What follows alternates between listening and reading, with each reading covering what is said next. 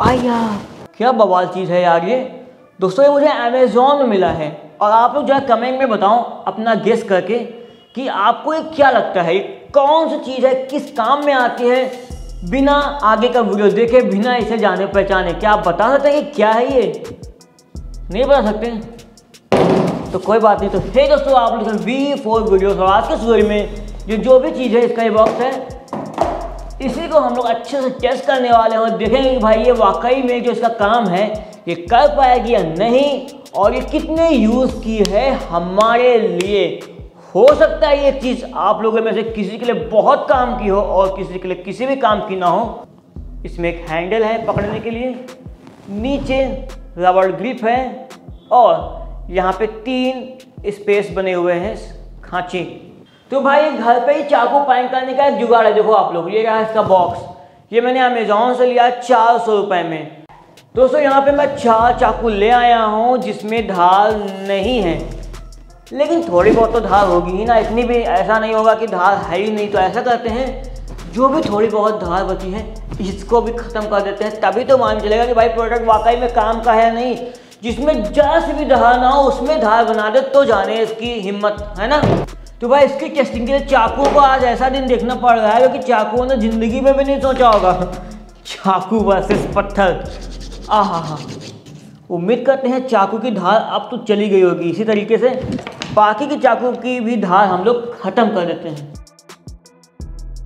बिना धार की चाकू। तो देखते हैं बिना धार वाली चाकू से कुछ काट के आलू और पेपर और बिना धार की चाकू। कट तो रहा है। ताकत लग रही है। दूसरी वाली से। इससे भी कट गया। कट तो जाएगा ही, लेकिन ताकत लग रही है। इससे इससे भी कट रहा है। और इससे यार।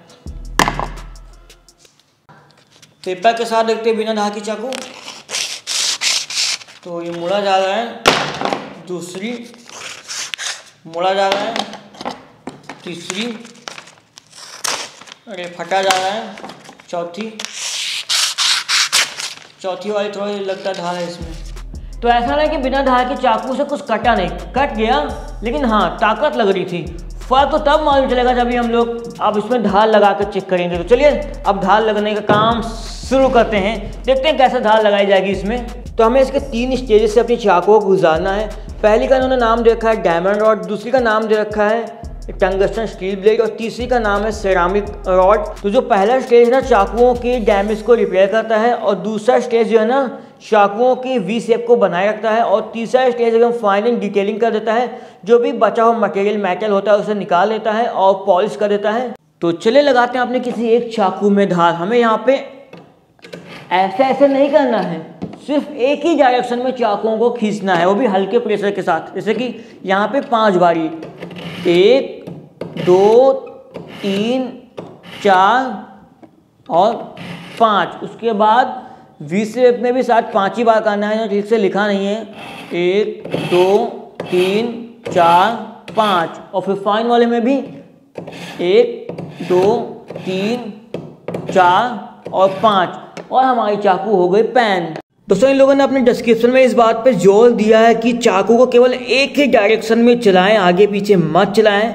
ऐसा करने पर चाकू खराब हो सकती है या फिर आपको चोट लग सकती है या फिर चाकू में धार ही नहीं लगेगी।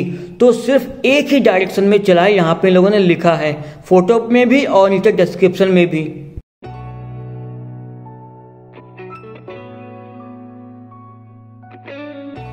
तो भाई, सभी में धार लग गई है। अब पेपर टेस्टिंग से शुरुआत करते हैं। तो यहाँ पे मैं पेपर टेस्टिंग स्टार्ट कर रहा हूँ एकदम न्यू चाकू से ताकि मैं धार को समझ सकूँ। तो ये होती है धार। अब जो धार मैंने खुद से लगाई है, उस पर देखते हैं। नॉट बैड दूसरी वाली। ओ सो बैड तीसरी वाली। No, नॉट गुड चौथी वाली? ओ इट्स गुड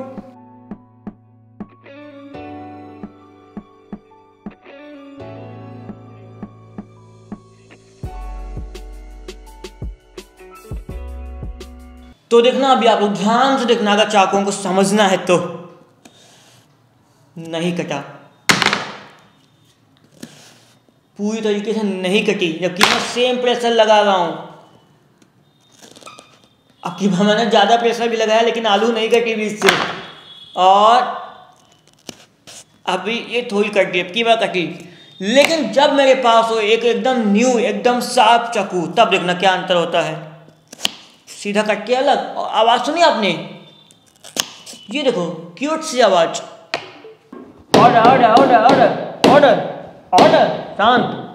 तो सारे सबूतों में गवाहों को मद्देनजर रखते हुए, इतने सारे आलू और टमाटर की कुर्बानी को ध्यान में रखते हुए, मम्मी के एक्सपीरियंस को सुनते हुए और मेरा चाकुओं को समझते हुए तो मैंने जिन चाकुओं को इसके समक्ष रखा, इसने उन चाकुओं में धार लगाई।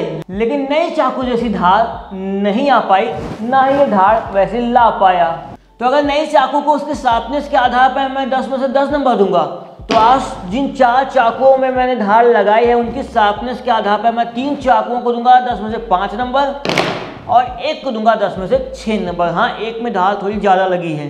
तो भाई, इसने काम किया, लेकिन चाकुओं को एकदम नया जैसा नहीं बना पाया। वैसे आपको इसके अमेजोन लिंक वीडियो का डिस्क्रिप्शन में मिल जाएगी, अगर आपको लेना तो ले सकते हैं। क्योंकि हो सकता है मम्मी लोगों को ये प्रोडक्ट काम का लगे।